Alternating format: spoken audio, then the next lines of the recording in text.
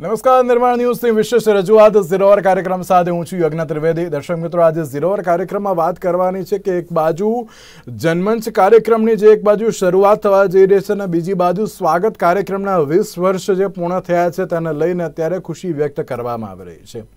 દર્શક મિત્રો, જ્યારે જનમંચની સૌથી પહેલાં તો હું વાત કરું તો જનમંચ કાર્યક્રમ જે હવે શરૂ થવાનો છે કોંગ્રેસ માટે તો જનતા જ સરકાર છે તેવા ઉદ્બોધન સાથે પ્રેસ કોન્ફરન્સની જે શરૂઆત કરવામાં આવી હતી.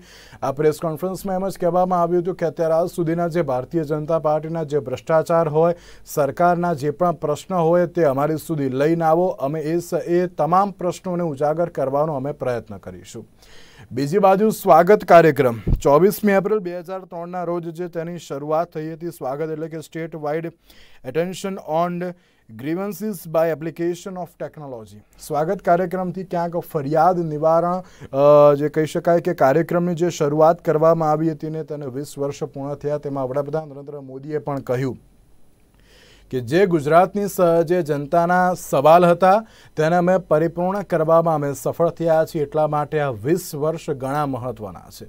હવે એક બાજુ ચલો, ફરિયાદ નિવારણ કાર્યક્રમ ભારતીય જનતા પાર્ટીનો તો હતો, પરંતુ બીજી બાજુ આ જનમંચ કાર્યક્રમ પણ અત્યારે તો જોવા મળી રહ્યો છે.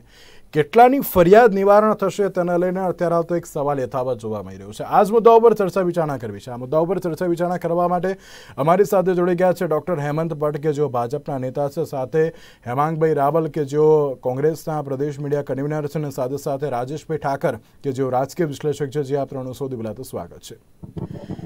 હેવાંગભાઈ સૌથી પહેલી શરૂઆત હું આપણાથી કરવા બાકી છે. આ જનમંચ કાર્યક્રમની જે શરૂઆત કરવામાં આવી છે. આ પહેલાં પણ કોંગ્રેસ દ્વારા અનેક એવા જે મુદ્દાઓ લઈને અને તેની સાથે અનેક એવા કાર્યક્રમોની સાથે જે પ્રજાની સમક્ષ ગયા છે. અને હવે આ જનમંચ કાર્યક્રમ કેમ? સૌથી પહેલો સવાલ તો મારો એ. બિલકુલ યજ્ઞભાઈ સૌ પ્રથમ તો ગુજરાતની જનતાના જે પણ પ્રાણ પ્રશ્નો છે અને પ્રાણ પ્રશ્નોની અંદર જનતા અત્યારે જ્યારે મુશ્કેલી વેઠી રહી છે, ત્યારે ગુજરાત પ્રદેશ કોંગ્રેસ સમિતિ દ્વારા આ એક જનમંચનો કાર્યક્રમ લોન્ચ કરવામાં આવ્યો છે. અને આ જનમંચનો કાર્યક્રમ જે તમને હું અહીંયા સ્ક્રીન ઉપર બતાવી રહ્યો છું, આ તમે કદાચ જોઈ રહ્યા છો, તો આ જનમંચની અંદર સૌથી વધારે અમે કીધેલું છે કે કોંગ્રેસ માટે તો જનતા જ સરકાર છે અને જનતા જ જે છે આ જનમંચ છે એ જન સભાથી લઈને વિધાનસભા સુધી અમે આ જનમંચનો કાર્યક્રમ છે એ લઈ જવાના છીએ. ખાસ કરીને તમે જુઓ કે તમે ગુજરાતની અંદર અત્યારે કેવા કેવા પ્રોબ્લેમ્સ છે ને પ્રોબ્લેમ્સ જે છે એનું સમસ્યાનું સમાધાન જે છે એ અમે કોંગ્રેસ જે છે એ લાવવા માટે કટિબદ્ધ છે અને સમસ્યાનું સમાધાન સ્વાભાવિક છે કે અમે સરકાર પાસે ડિમાન્ડ કરીશું. સરકાર જો એ ડિમાન્ડને માનશે નહીં, તો અલગ અલગ રીતે જન કાર્યક્રમો અમે કરીશું. અલગ અલગ રીતે એનું વિધાનસભાથી માંડીને અમે રોડ ઉપર આ બધા કાર્યક્રમ લાવીશું. ખાસ કરીને જનમંચ છે અમે પહેલી તારીખથી ગુજરાતના સ્થાપના દિવસથી આ જનમંચ કાર્યક્રમની શરૂઆત કરી રહ્યા છીએ. આ જનમંચ કાર્યક્રમ છે એ પહેલી તારીખે પાલનપુરની અંદર થવામાં આવનાર છે. લોકો પોતાના પ્રશ્નો જેની અંદર યુવાનો હોય, ગરીબો હોય, બેરોજગારો હોય, મહિલાઓ હોય, ખેડૂતો હોય, શોષિતો હોય, પીડિતો હોય, વંચિતો હોય, દરેકને પોતાના પ્રશ્નો છે. અને દરેકે દરેક પ્રશ્ન ખુલ્લા મંચ ઉપર આવીને પોતે રજૂ કરશે, મંચ ઉપર બોલશે અને એ પ્રશ્નનું રેકોર્ડિંગ થશે. એ રેકોર્ડિંગ થયા બાદ એને સેગ્રિગેટ કરવામાં આવશે. જે તે જગ્યાએ તાલુકા લેવલના પ્રશ્ન હશે, તો તાલુકા લેવલથી જિલ્લા લેવલના હશે, શહેર લેવલના હશે, રાજ્ય લેવલના હશે, એ દરેક પ્રશ્નોની પાછળ સંપૂર્ણ રીતે કોંગ્રેસ પક્ષ જહેમતથી કાર્ય કરશે અને એમના પ્રશ્નોના સમાધાન માટે કોંગ્રેસ પક્ષ પોતાના તરફથી બનતું કરી શકશે. તમને ખ્યાલ છે કે તમે અત્યારે સ્વાગત ઓનલાઈનની વાત કરી. શું સ્વાગત ઓનલાઈન થયા પછી બધાને કાયમી નોકરી મળી ગઈ. શું સ્વાગત ઓનલાઈન થયા પછી ફિક્સ કોન્ટ્રાક્ટ કે આઉટસોર્સિંગની નોકરીઓની અંદર શોષણ થતું બંધ થઈ ગયું? જીઆઈડીસીના ઉદ્યોગોની અંદર, સ્થાનિક ઉદ્યોગોની અંદર પંચ્યાસી ટકા સ્થાનિક યુવાનોને જે આપવાનું હોય રોજગારી, એ આપવાની બંધ મળતી થઈ ગઈ. સરકારી ભરતીય પ્રક્રિયામાં પેપર ફૂટવાની વાત હોય કે લાંચ કાંડની વાત હોય કે ડમી કાંડની વાત હોય, એ બધું બંધ થઈ ગયું. મનરેગાની અંદર સો દિવસનો પૂરતો પગાર મળતો તમને થઈ ગયો. આવા તો અનેક આવા મહિલાઓના પ્રશ્નો છે, ખેડૂતોના પ્રશ્નો છે, યુવાનોના પ્રશ્નો છે. ખેડૂતોનો જમીન રીસર્વેની અંદર ગોટાળા થયા હોય તો એમના પ્રોબ્લેમ ક્યાં રજૂ કરે? ખાતર, બિયારણ, મોંઘા મળવાની વાત તો બાજુ રહે, મળતા જ નથી. કે ટેકાના ભાવ નથી મળતા. ખેતી માટે થઈને પૂરતી દિવસે વીજળી નથી મળતી. રોજ ભૂંડ, વાંદરા. કાર્યક્રમ જે થયો છે એ ફેલ પ્રોગ્રામ છે, તમે એમ કહેવા જઈ રહ્યા છો તો? જો સ્વાગત કાર્યક્રમ ફેલ ના હોત, તો શું? તમારા વિસ્તારની અંદર બધી જગ્યાએ પાકા રસ્તા છે, હયાત રસ્તા ખખડધજ નથી. આપણે પૂછીએ, શુદ્ધ પીવાનું પાણી બધાને મળે છે? ગટર વ્યવસ્થાને સ્વચ્છતા રેગ્યુલર થાય છે? શહેરોની વાત કરું છું. વીજળી ગામડાઓની અંદર ખેડૂતોને નિયમિત મળે છે. શહેરોની અંદર વીજ બિલ આવે છે, વ્યાજબી હોય છે. ગામડાઓની અંદર હેલ્થ ડોક્ટર સાહેબ છે. સીએચસી પીએચસી પેટા કેન્દ્રોમાં ડોક્ટરના સ્ટાફ સાધનો કે દવાઓની ઘટ નથી થઈ. આવા ઓકે, ઓકે, ઓકે, પ્રશ્નો ડોક્ટર કે સ્ટાફ નિયમિત આવતા નથી. સરકારી અને ખાનગી હોસ્પિટલોની અંદર નિયમ કરતા હેમાંગભાઈ હેમંતભાઈ આપને આપને આપને રોકવા માંગુ છું. એટલે કે પ્રશ્નો ઘણા બધા અત્યારે હાલ તો જોવા મળી રહ્યા છે. હેમંતભાઈ સવાલ એ છે કે સ્વાગત ઓનલાઈન કાર્યક્રમનું જે આયોજન કરવામાં આવ્યું આ સ્વાગત ઓનલાઈન કાર્યક્રમ ક્યાંક ફેલ ગયો? જાહેર જનતાના જે પ્રશ્નો હતા તેનું નિવારણ યોગ્ય રીતે ન થયું, એટલા માટે આ જનમંચ કાર્યક્રમ આવી રહ્યો છે તેવું લાગી રહ્યું છે. એકદમ ભાઈ આજે સ્વાગત ઓનલાઈન વીસ વર્ષ પૂરા થયાનું એક સુંદર સપ્તાહની ઉજવણીનો કાર્યક્રમ ભારતીય જનતા પાર્ટીની ગુજરાત સરકાર દ્વારા ચાલી રહ્યો છે. ચોવીસમી એપ્રિલ બે હજાર ત્રણમાં જ્યારે નરેન્દ્રભાઈ મુખ્યમંત્રી થયા ને એમના જે શરૂઆતનો જે સમયકાળ હતો, એ દરમિયાન પંચામૃત કરીને આખું એક પ્રગતિનું પંચામૃત કરીને એમણે ખૂબ સરસ પુસ્તક ગુજરાત સરકાર દ્વારા પણ બહાર પડ્યું હતું. અને આજનું એમાં પણ એમણે બહુ ભાવપૂર્વક એ વાતને યાદ કરી. જ્યારે હું મુખ્યમંત્રી થયો ત્યારે એક લોકમાનસમાં એવી એક ભાવના હોય છે કે માણસ મિનિસ્ટર થાય, સરકારમાં જાય ને પછી એ બધું ગ્રાસરૂટ લેવલથી કટ ઓફ થઈ જાય. એ પછી સરકારને નીચેના માણસોના છેવાડાના માનવીના પ્રશ્નો સાથે કોઈ સીધો સંબંધ હોતો નથી. અથવા તો એના માટે લાગણી કે સંવેદના રહેતી નથી. એટલે એમણે કે મારું મારું બહુ પોતાનું દ્રઢ મંતવ્ય હતું કે હું જેવો છું તેવો રહીશ. લોકોએ મને જે રીતે રાખ્યો છે પાસે જે રીતે મને ઉછેર્યો છે, જનતા જનાર્દનનું કઈ રીતે કલ્યાણ થાય એ ભાવનાને નજરમાં રાખીને આખી એ સ્વાગત ઓનલાઈન સિસ્ટમ, જે જન ફરિયાદ નિવારણની આખી જે સિસ્ટમ, તમે હમણાં એના ફૂલ ફોર્મ સાથે કહું કે state wide attention of grievances by application of technology. એમણે શરૂ કર્યો. અને સાચી વસ્તુ કહું તો મારે ઘણા બધા સિનિયર કલેક્ટર મિત્રોશ્રીઓ અને મામલતદારશ્રીઓ સાથે ઘણી વખત આ બાબત અંગે ચર્ચા થઈ છે. નરેન્દ્રભાઈ જ્યારે મુખ્યમંત્રી હતા ને, અને જો કોઈ જિલ્લા કલેક્ટરને કે મામલતદારને ખબર પડે કે ભાઈ આજે સ્વાગત ઓનલાઈન કાર્યક્રમમાં સીએમ સ્વાગતમાં તમારે હાજર રહેવાનું છે અને તમારે માટેના આ બે ત્રણ પ્રશ્નો છે એના જવાબ આપવાના છે, તો આખા એ વિભાગમાં દોડધામ થઈ જતી. કોઈ પણ વ્યક્તિ, સામાન્ય નાગરિક પણ સીએમ સ્વાગત કાર્યક્રમ જાય, તમને તો ખબર છે કે આખી એક થ્રી ટાયર સિસ્ટમ ગોઠવાયેલી છે. સીએમ સ્વાગત પણ થાય, જિલ્લામાં જિલ્લા કક્ષાએ કલેક્ટર પણ સ્વાગત ઓનલાઈન કાર્યક્રમ કરે મહિનાના ચોથા બુધવારે. એ જ રીતે તાલુકા કક્ષાએ મામલતદાર પણ આ રીતે સ્વાગત ઓનલાઈન કાર્યક્રમ કરે. અને એમાં જે તે વ્યક્તિ છે કે જેને પોતાના કોઈ પ્રશ્નો છે, એ સીધા એ પ્રશ્નો લઈને મામલતદાર કલેક્ટર કે મુખ્યમંત્રી શ્રી પાસે જાય. અને એના the responsible officers are directly called એમને બોલાવીને ત્યાં ને ત્યાં એનું સમાધાન કરવામાં આવે. Ninety nine point ninety one percent એનો સક્સેસ રેટ છે સ્વાગત ઓનલાઈનના કાર્યક્રમનો. અને મેં કહ્યું એમ, અધિકારીઓમાં એક ફફડાટ હતો. તંત્રમાં પણ એ ફફડાટ હતો અને એ ફફડાટના લીધે થઈને ગુજરાતમાં લોકોના જે પ્રશ્નો સોલ્વ થયા છે, આજે ઘણા બધા જે લાભાર્થીઓ આ સ્વાગત ઓનલાઈનના કાર્યક્રમના છે, એમના ઇન્ટરવ્યુ પણ સાંભળવા મળ્યા. ઘણી બધી લાગણીસભર વાતો થઈ. સુરતમાં રેલમાં એક બત્રીસ જણાના ફ્લેટ અને આઠ દુકાનો આખું એ મકાન ભયજનક થયું અને એને તોડી પાડવામાં આવ્યું. કારણ કે મકાન ભયજનક હતું તો બધા બિચારા બેઘર થઈ ગયા. અને એની નરેન્દ્રભાઈના સ્વાગત ઓનલાઈન કાર્યક્રમમાં થઈ. નરેન્દ્રભાઈએ જે તે કલેક્ટરને એમાં જે કંઈ થઈ શકે એ રીતે તાત્કાલિક એ જો સ્કીમને ફરીથી મંજૂરી અપાય તો એ રીતે આપવામાં આવે. બત્રીસ જણાના ફ્લેટના રહીશોને નવા ફ્લેટ પણ બંધાયા. ત્યાં આઠ દુકાનધારકોને દુકાન પણ મળી. હવે તો આ એક દાખલો મેં કહ્યું, પણ આવા જે અમુક જે દાખલા સાંભળવા મળ્યા, આપણને એમ થાય કે સ્વાગત ઓનલાઈન કાર્યક્રમના લીધે ઘણી વખત એવું થાય છે કે જે ફરિયાદી છે એ સરકારી કચેરીમાં જઈને એટલું કહે ને કે આ મારું કામ છે, ઠીક છે, જો તમે મને કરી આપો તો ઠીક છે, નહીં તો મને સ્વાગત ઓનલાઈન કાર્યક્રમમાં જતા આવડે કે ને તો અધિકારીઓમાં અને જે આખું એ સરકારી તંત્રમાં છે ને, એમાં એક ચેતનાની લહેર દોડે છે. અને અત્યાર સુધી આટલા બધા પ્રશ્નો તો કેમ છે? આ ખેડૂતોના આટલા પ્રશ્નો હોય કે અલગ અલગ? હમણાં હમણાં આ ચર્ચા થઈ ત્યારે આપણે ઓગણીસો સુડતાલીસમાં આઝાદ થયા ને ત્યારે આપણા દેશ અને સામાન્ય નાગરિકો માટેના પ્રશ્નો હતા. કોંગ્રેસ હેમંતભાઈ પ્રશ્ન મને પૂછ્યો છે. હેમંતભાઈ પણ પ્રશ્નો રહ્યા. એટલે પ્રશ્નો રહેવાના જ છે. કારણ કે આપણું જીવન છે. નાના મોટા પ્રશ્નો આવવાના જ છે. વિકાસના પ્રશ્નો આવવાના જ છે. કોઈ વસ્તુ સ્થાયી નથી થવાની. પણ એ પ્રશ્નોનું નિરાકરણ કરવા માટે સરકારનો અભિગમ કેવો છે? અને એ અભિગમની સકારાત્મકતાને જો યુનાઇટેડ નેશન્સ વખાણે એ અભિગમ સકારાત્મકતાને ભારત સરકાર કોંગ્રેસની યુપીએની સરકાર વખાણે અને ગોલ્ડ એવોર્ડ આપે ગુજરાત સરકારને. એ અભિગમને ઇન્ટરનેશનલ ટેલિકોમ ઓર્ગેનાઇઝેશન વખાણે કે ઈ ટ્રાન્સપરન્સી અને એટલે અત્યારે તમે વખાણી રહ્યા છો એમને આટલા બધા વખાણી અને એકાઉન્ટેબિલિટી માટે આ સારામાં સારી વ્યવસ્થા છે એમ કે તો આપણે એટલું ચોક્કસ માનવું પડે કે સ્વાગત ઓનલાઈન કાર્યક્રમના લીધે સરકારી તંત્રમાં લોકો પ્રત્યે એટલે એટલે પ્રશ્નો એટલે પ્રશ્નો હજુ પણ યથાવત છે. એના લઈને હું પછી આપણે એક પ્રશ્ન પૂછી પણ સાથે. રાજેશભાઈ રાજેશભાઈ જે જી જે બિલકુલ બિલકુલ. રાજેશભાઈ આપને એક પ્રશ્ન. આ સ્વાગત ઓનલાઈન કાર્યક્રમ અને બીજી બાજુ જન્મંચ કાર્યક્રમ.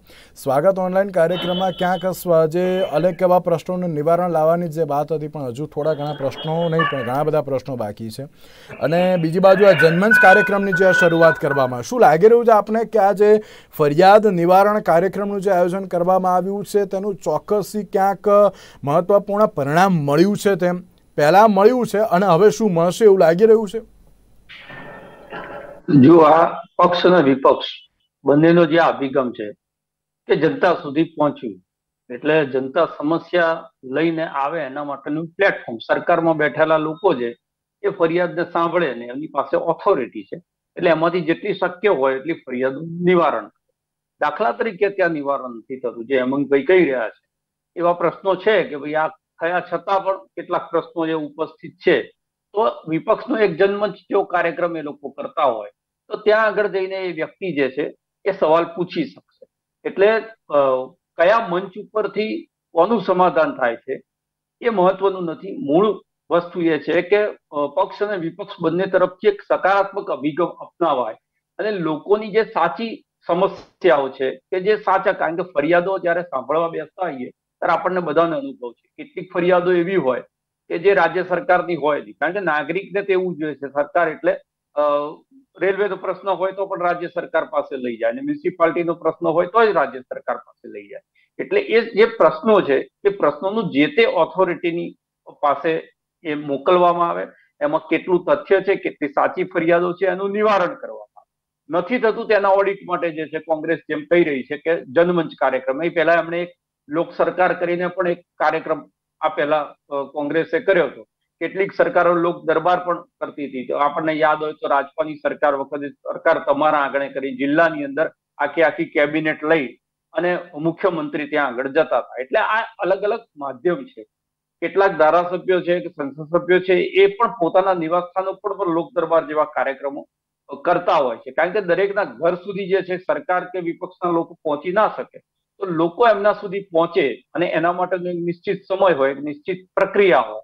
અને આજે ઓનલાઈન વાળી વાત છે, તો એ તમે ઘરે બેઠા પણ તમારી જે કમ્પ્લેન છે, એ તમે રેઝ કરી શકો અને બીજી વસ્તુ એ છે કે જ્યારે ઓનલાઈન તમારી કમ્પ્લેન થાય છે, એ કમ્પ્લેનનું નિવારણ થયું છે કે નથી થયું, એનું સાચું ઓડિટો જે ફરિયાદ કરતા છે એ જ કરી શકવાનો. અને એનું નિવારણ થયું છે કયા સ્તરે જઈને એ વસ્તુ અટકી છે. તો એ પણ ઓનલાઈન પ્રોસેસની અંદર કોઈક ને કોઈક સ્ટેજે છે એ દર્શાવતી હોય અને આ બધું કરવાના કારણે એક જે પ્રક્રિયામાં બેઠેલા અધિકારીઓ છે આપણે ઘણી વખત કહેતા હોઈએ કે સરકારની મહેચ્છા હોય તો અધિકારી રાજ છે. એ અમુક વસ્તુઓમાં અડચણરૂપ થતા હોય છે કે અમુક વસ્તુ નથી થતી હોતી.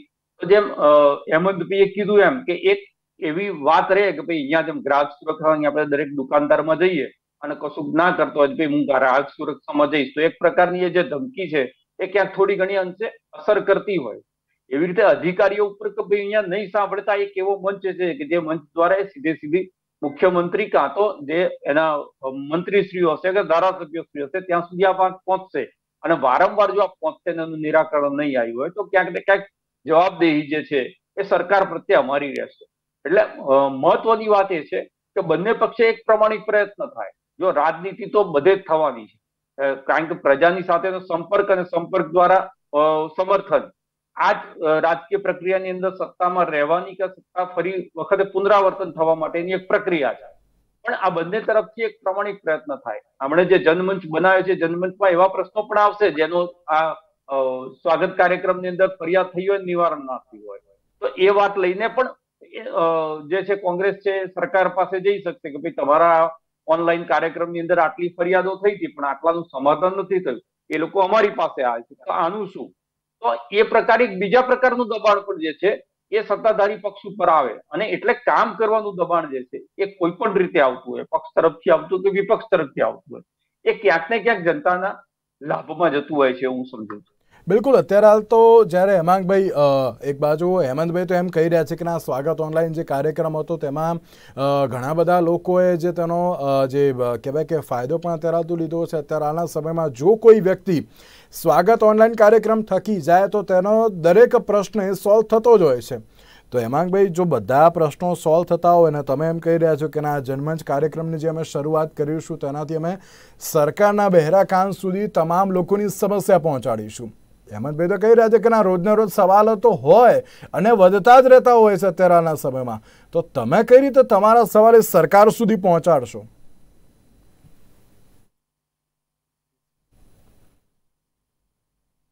બહુ સારો પ્રશ્ન પૂછ્યો. આપને હું સૌ પ્રથમ તો એ જણાવવા માંગુ છું કે જનમંચ કાર્યક્રમ છે, એ પરંપરાગત ફરિયાદ નિવારણ છે. આમાં ઓનલાઈન ટેકનિકલ કોઈને કંઈ પણ નહીં આવડતું હોય કોંગ્રેસ સામેથી જવાની છે. પહેલી તારીખે પાલનપુરથી ચાલુ કરશે અને એક વર્ષની અંદર સમગ્ર ગુજરાતના દરેકે દરેક તાલુકા પ્લેસને આવરી લેવામાં આવશે. હવે આની સાથે સાથે શહેરો માટે જનમંચે ફેસબુકની અંદર પણ પોતાનું પેજ બનાવેલું છે, ટ્વિટરમાં છે, ઇન્સ્ટાગ્રામમાં છે અને હેલ્પલાઇન નંબર પણ મૂકેલો છે. એટલે જનમંચ કાર્યક્રમ થકી વધુ ને વધુ લોકો સુધી પોતાની સમસ્યાઓ જે છે, અમે ત્યાં જઈને એવું નહીં કહીએ કે માફ કરજો, મારે એક ફોન આવ્યો. ત્યાં જઈને અમે એવું નહીં કહીએ કે તમારા વિસ્તારની અંદર દેશી દારૂ મળતો હોય તો ત્યાં જઈને કહી દેજો કે સ્વાગતમાં ફરિયાદ કરીશ એટલે દારૂ વેચતો બંધ થઈ જશે. અધિકારીઓ આજે મહિલાઓની છેડતી થશે તો દોરો ખેંચાય. તો એવું નહીં કહીએ. કે, ભાઈ, દોરો ના ખેંચ, હું સ્વાગતની અંદર ફરિયાદ કરી દઈશ પોલીસ તંત્રને જાણ કરે તો એ કાર્યવાહી ના થાય, તો પોલીસ તંત્રને કહેશો કે, સ્વાગતમાં ફરિયાદ કરી દઈશ એટલે તમનું કામ પતી જવાનું છે. માથા ભારે લોકો જમીન મિલકત પચાવે છે. એને તમે કહેશો કે, ભાઈ, મારી જમીન મિલકત પચાવતો નહીં, સ્વાગતમાં ફરિયાદ કરી નાખી, એટલે તમારું કામ પતી જશે. ગેરકાયદેસર દબાણો હોય, એવી અસંખ્ય સમસ્યાઓ છે. મેં તમને પહેલા જે વાત કરી ડોક્ટર સાહેબે કીધું કે કલેક્ટર મામલતદાર બધાના સ્વાગતથી ફફડી ઉઠે છે અથવા ઉઠતા હતા. એમણે પણ એક સારું કહી દીધું ફફડી ઉઠતા હતા. અત્યારે નથી ચલો એટલું તો એમણે સ્વીકાર્યું હશે. પણ ખાસ કરીને મામલતદાર પંચાયત ગ્રામ પંચાયત કચેરી નગરપાલિકામાં એક વખત ગામડામાં રોજિંદા કામ લઈને જવા જેવું છે.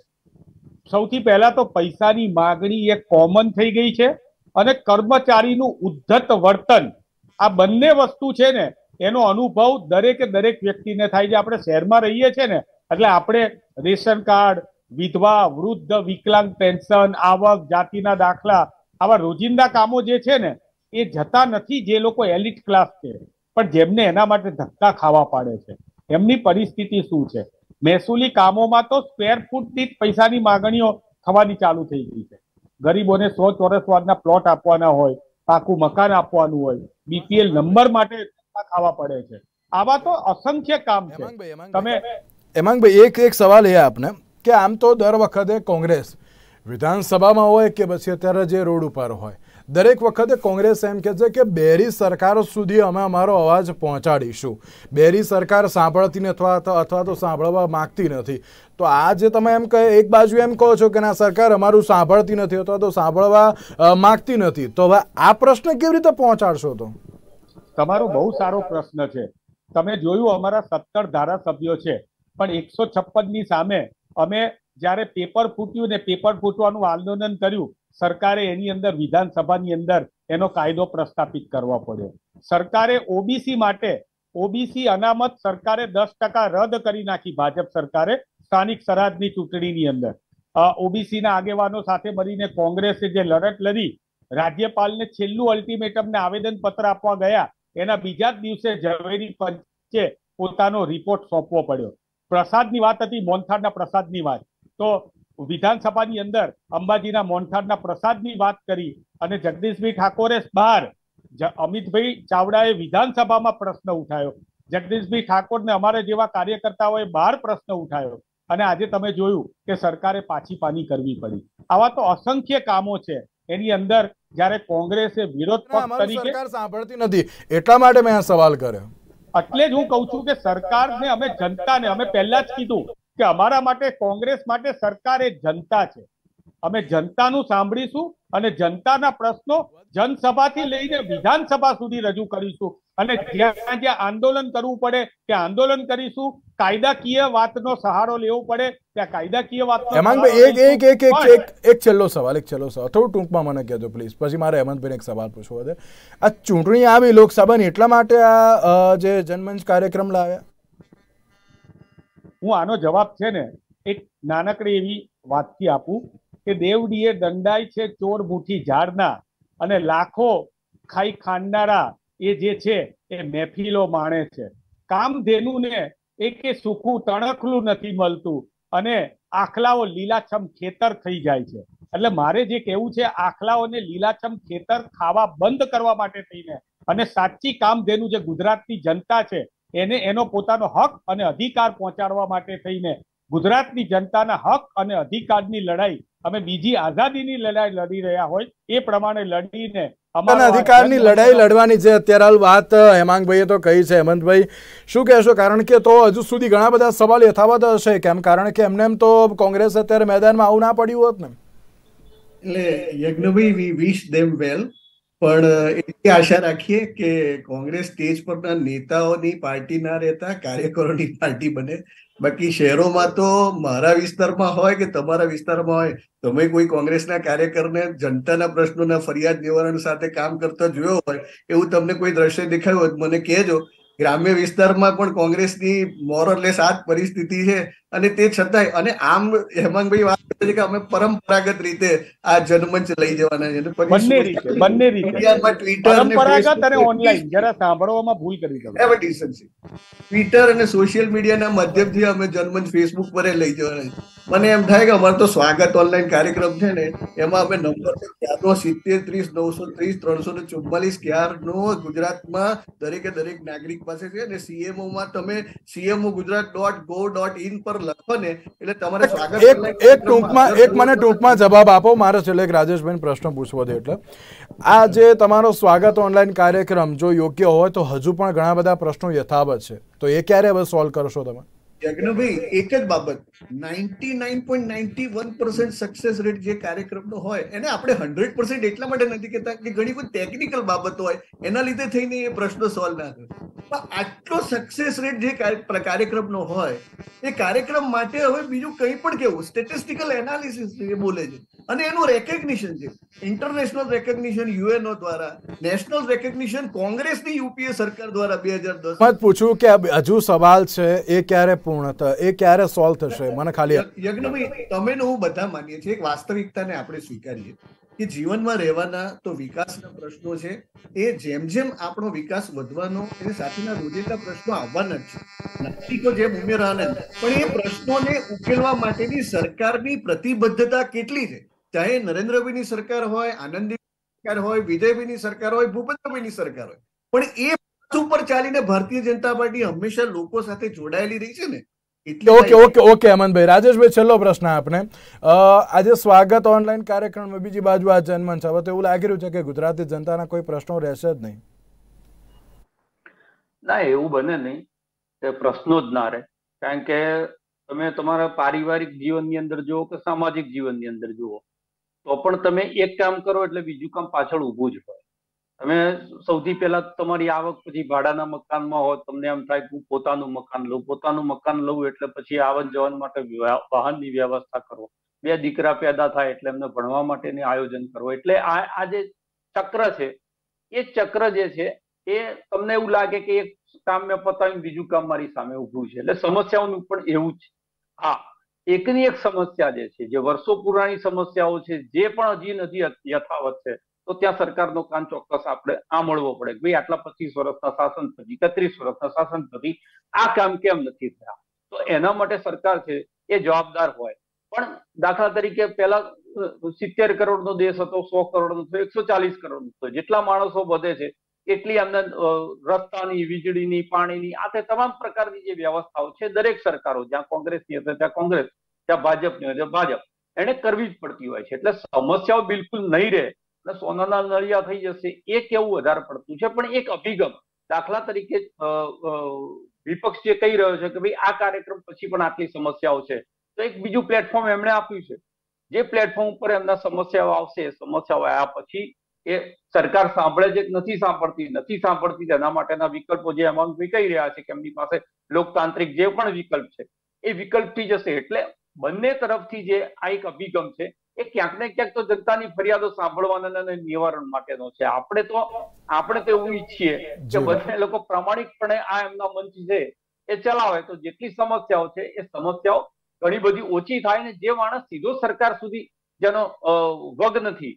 એવા માણસો માટેનું આ માધ્યમ છે. જેમની વગ છે એમના માટેનું આ માધ્યમ નથી. જેમને રજૂઆત કરતા આવડે છે ક્યાં જઈને કહેવાથી મારું કામ પતશે એ ખબર પડે છે એમના માટેનું આ મંચ નથી. પણ જ્યાં કોઈ નથી સાંભળતું તો સાંભળવા માટેના મંચ છે. એટલે એનો સદુપયોગ થાય આપણે તો એવું ઈચ્છીએ બિલકુલ હેમાંગભાઈ મારી જોડે થોડોક સમય ઓછો છે. જે રીતે પહેલાં તો સ્વાગત અને જન્મંચ કાર્યક્રમની જ્યારે આપણે વાત કરતા વાત કરતા હોઈએ સ્વાગત ઓનલાઈન કાર્યક્રમ તો હજુ યથાવત છે. બીજી બાજુ જન્મંચ કાર્યક્રમ પણ આવી રહ્યો છે. હવે જોવાનું એ રહ્યું કે જાહેર જનતાના જે કોઈ પણ પ્રશ્નો છે તેને હવે ક્યારે હવે તેનું નિરાકરણ આવશે અને કઈ રીતે આવશે તે તો હવે જોવાનું જરૂર તેની સાથે હેમાંગભાઈ, હેમંતભાઈ અને રાજેશભાઈ, આપ ત્રણનો આભાર અમારી સાથે ચર્ચા વિચારણામાં જોડાવા માટે. તો દર્શક મિત્રો, આજની આ વિશ્વ રજૂઆતમાં બસ આટલું જ. આપશો નમસ્કાર.